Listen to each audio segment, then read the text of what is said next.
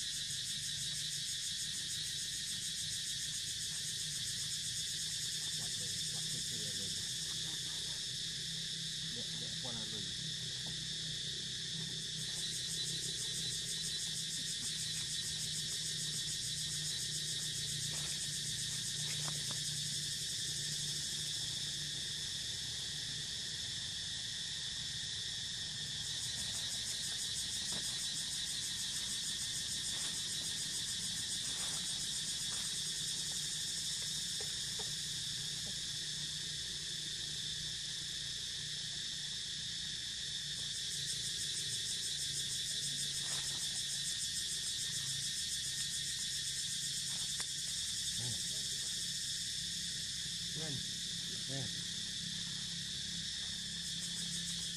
còn chết mong